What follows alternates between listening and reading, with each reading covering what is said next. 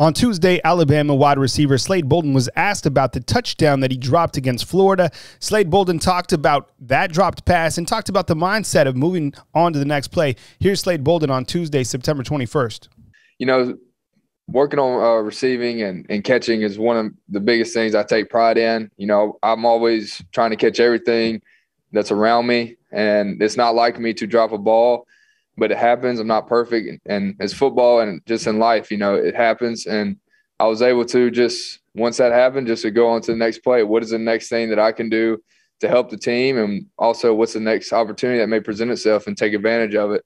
And I was able to have coaches and uh, teammates be able to uh, keep me from you know getting too down on myself, which you know I knew from the jump as soon as it happened that to forget about it, next play mentality, and that's what I'll continue to do.